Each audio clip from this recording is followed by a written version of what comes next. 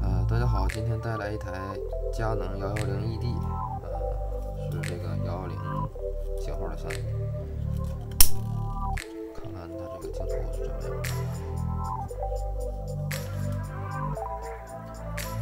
镜头是个大光圈镜头，呃，二十六毫米一比二点零。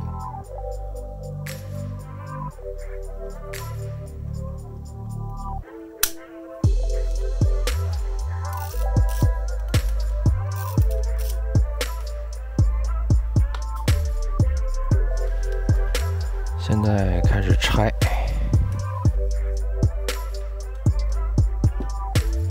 因为不需要再复原了，所以螺丝的位置也不用记了。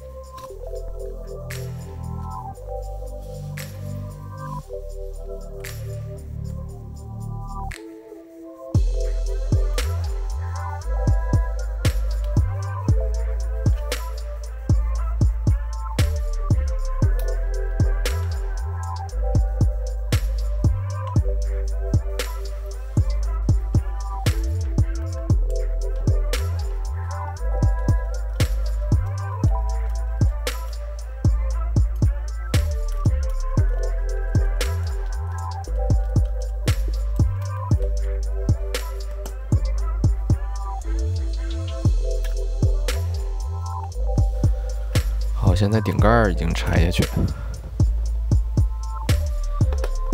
看这里边机构还是挺复杂的。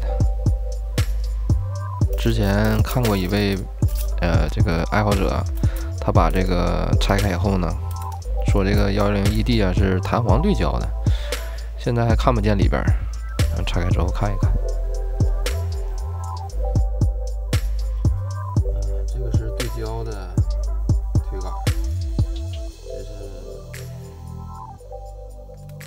圈的推杆。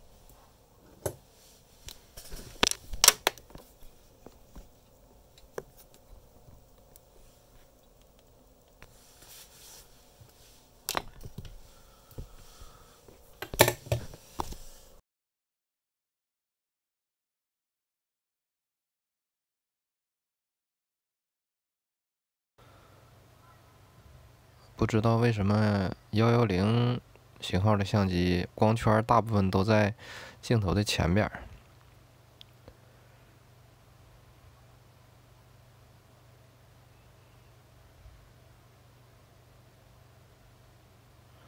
然后前面前面板已经卸下来了，前面是光圈和快门，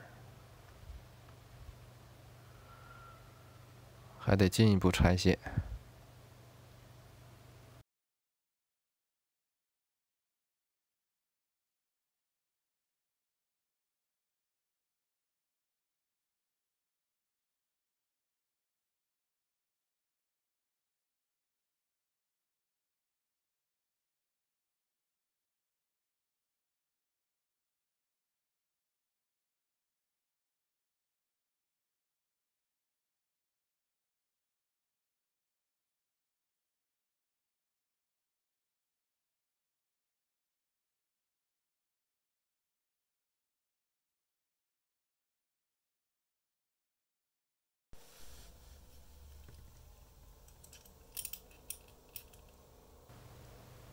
好，能看见镜头了，现在还是挺漂亮的，f 二点零的大光圈。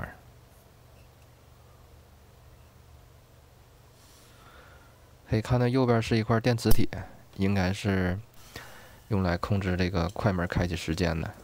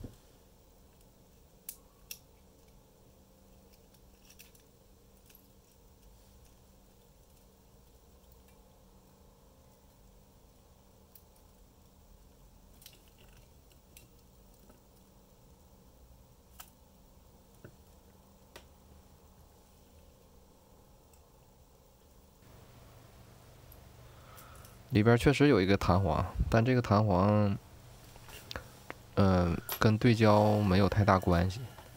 它可能是用来，呃，让你更方便的复位。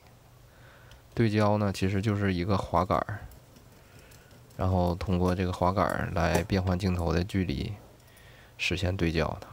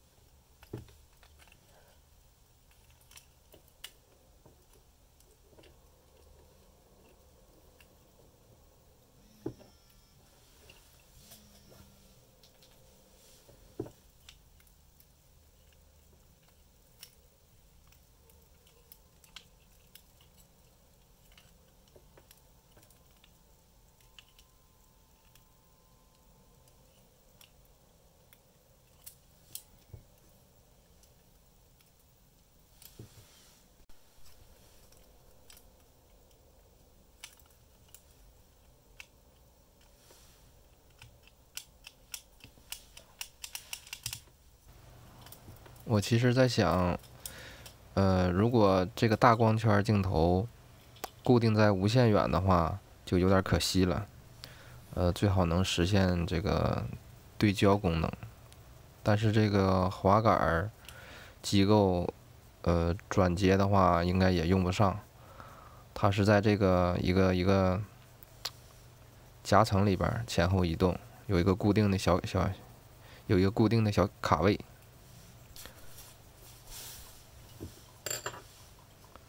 嗯，先不管这些了，看看能不能把它的另外一部分拆下来，看看是否能利用一下。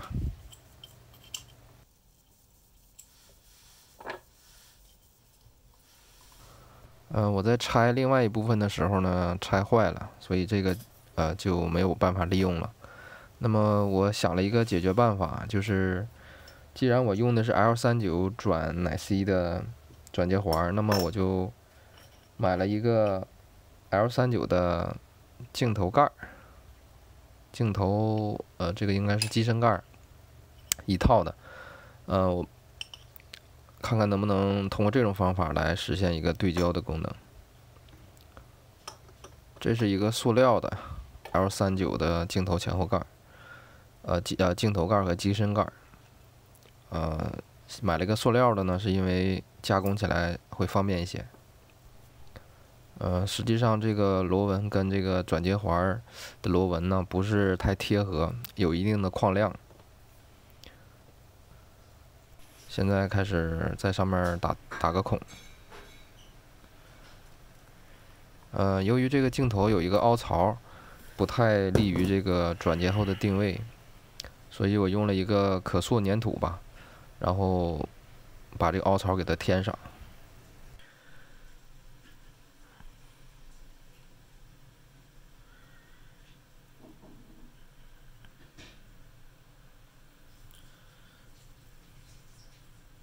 这个遇热水呢，它会变软，然后呢，就可以弄成你想要的形状。然后冷却之后呢，它就会变硬。呃，现在卡在里边了，卡在里边。呃，后来在安装的时候，这个塑料的强度不太够啊，被撑破了，所以后来我又换了一个金属的，金属的这个 L 三九机身盖。嗯，这回安装在里边呢比较合适。调整好位置以后，我用 A/B 胶把它固定粘牢。可以看到左上角这个相机的名牌还有这个相机的编号的那个名牌都被我拆下来了。我想安装在这个转接后的镜头上，给它一个身份标识吧。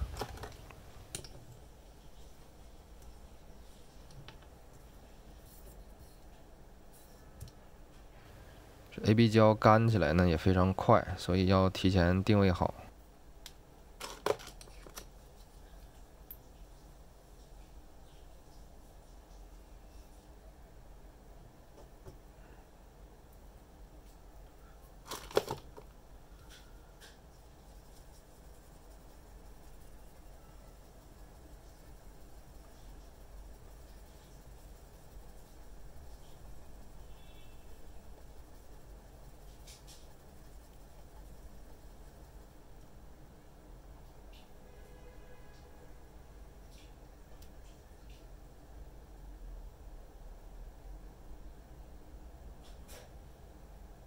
全部抹上以后呢，可以再细微的调整一下。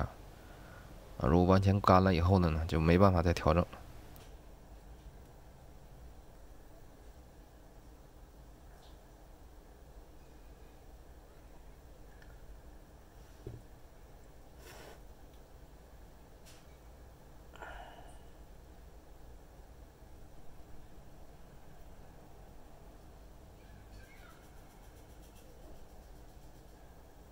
这转接环打出来一个这个洞以后，这个厚度大概是两毫米左右。呃，为了这个更加固定吧，我用一个就是之前没有成功利用的那个镜头对焦的凹槽，把它也通过 A/B 胶粘在后边，加以固定。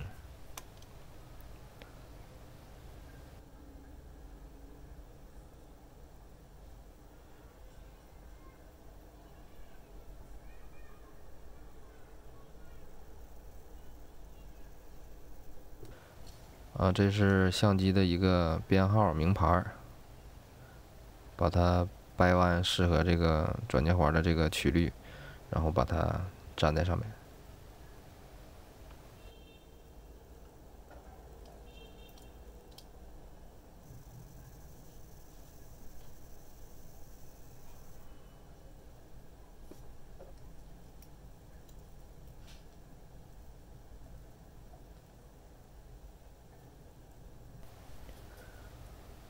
嗯，这是一个相机的快门按钮，呃，把它粘在这上面呢，正好用来对焦，就是一个对焦扳手吧。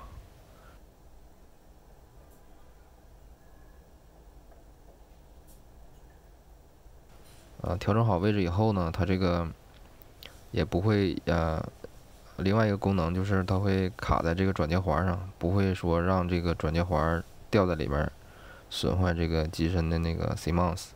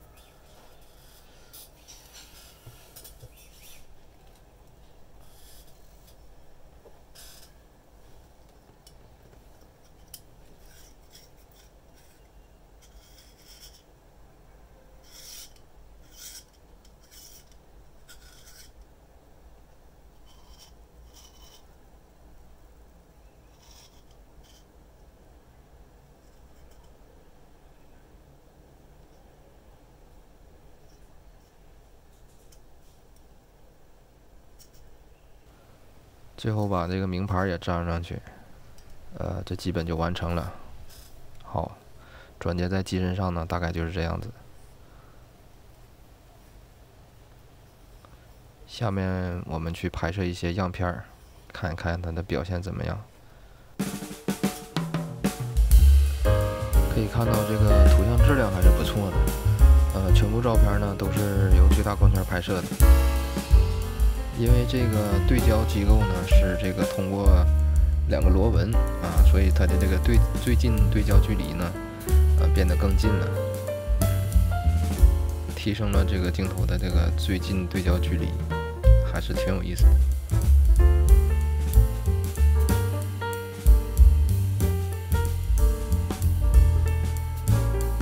呃，因为我之前要转接过来的那个光圈机构呢。